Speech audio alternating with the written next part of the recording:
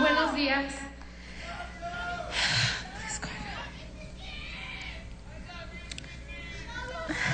I love you guys too.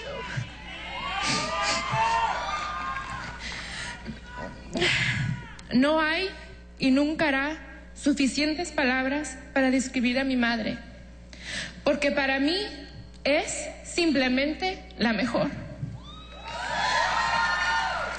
Pero me acuerdo muy claramente de una, de una ocasión en cual me preguntó mi mami si hubiera una palabra para describirme, cuál fuera.